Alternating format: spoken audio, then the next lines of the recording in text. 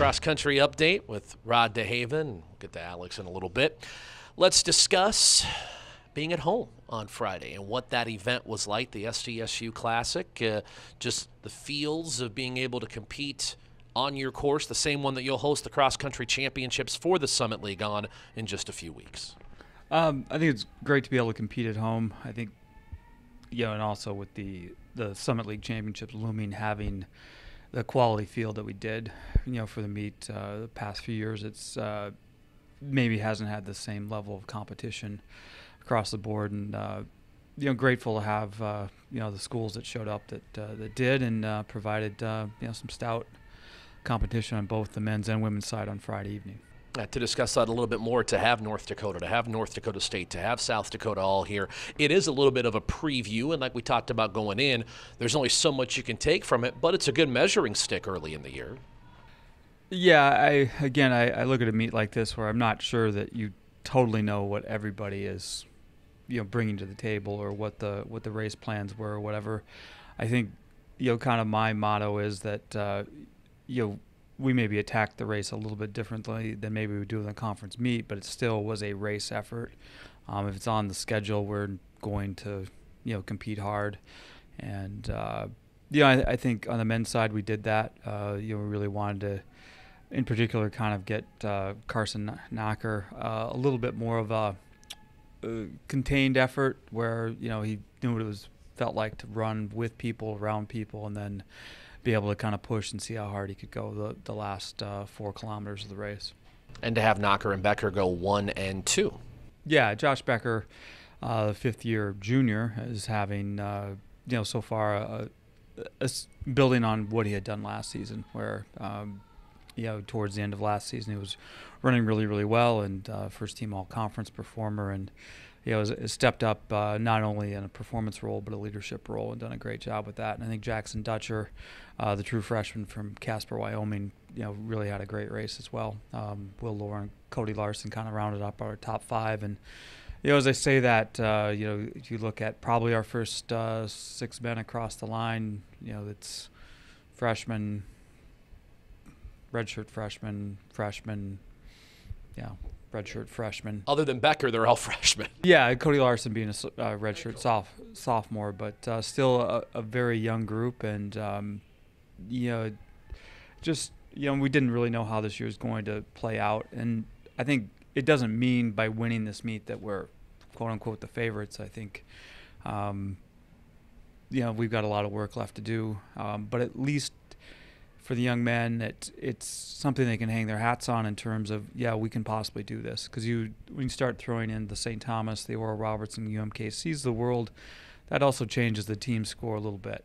Um, in some years, you know, you might throw in a couple teams on the bottom half of this league, and it may not do anything. This year, it um, you know definitely will change things, and you know, ORU is again ranked very highly regionally, so not to say they're on the bottom half of the league. Um, and obviously St. Thomas gave us a great run for our run, money at Augustana. So those those schools are running well. I think, but in general, as we approach these next couple weeks leading into Griak, it's more about again process stuff and making sure that we maximize, uh, you know, particularly the next 10 days of training and and uh, you know see where we're at once we get on the starting line in Falcon Heights. Discussing that, the Griak is off in the distance, but because you do have some time between now and then, what do the next couple of weeks look like? Well, I think this week is a traditionally a, a bigger volume uh, week in terms of workouts, and that usually just translates into your overall running volume is going to be a little bit higher. Um, transition a little bit into uh, you know out of kind of the traditional tempo threshold type stuff into a little bit more race uh, preparation type stuff, and you know hopefully that will aid us at, at Griak, whether it will or not. Uh, well, we'll see. I mean, Griak typically is a course that um, ultimately kind of uh, you know test your overall strength, and some of that is developed over the summer.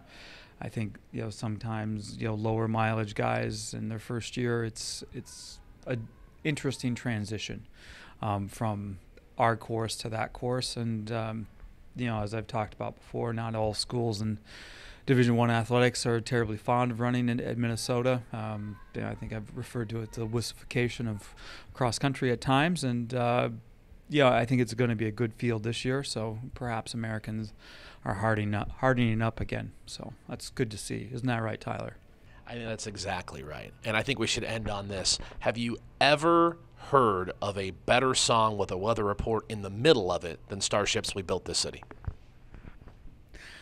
I'm not a big fan of that song, um, but I can't. I I cannot uh, think of another song with a weather report in the middle of I it. I can't either. No. And with that, have a great day. Thanks, Tyler. You left me speechless on that one. You got any weather reports in the middle of songs? Like uh, anything else we can add to this conversation? I don't have that sort of database of information like Rod, unfortunately.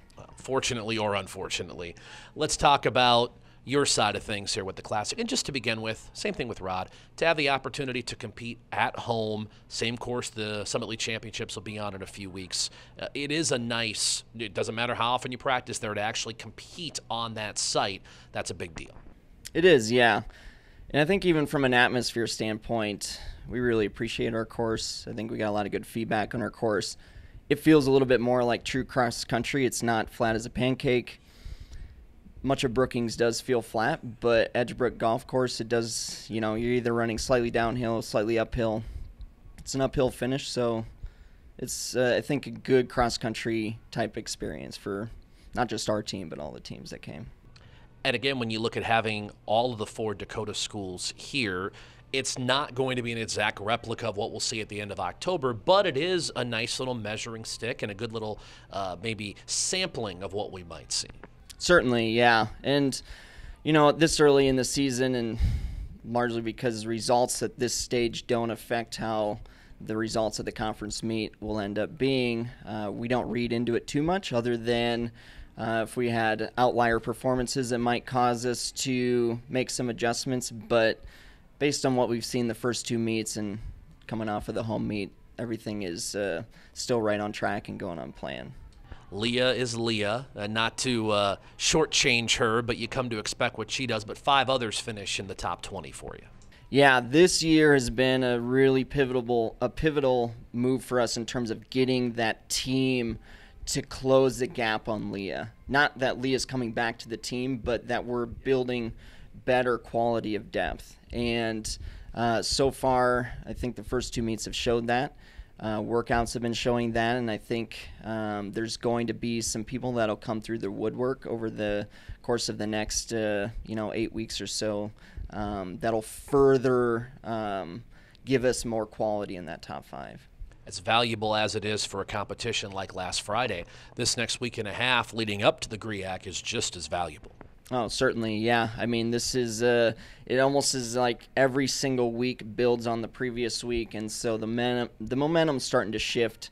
Um, the intensity of training is starting to get ramped up, um, and we have to be cognizant of the fact that school's also uh, becoming challenging as well. So we have to balance all of the all of the other stressors in life. But certainly, um, the momentum is uh, it's moving forward and um, in a pretty quick positive way.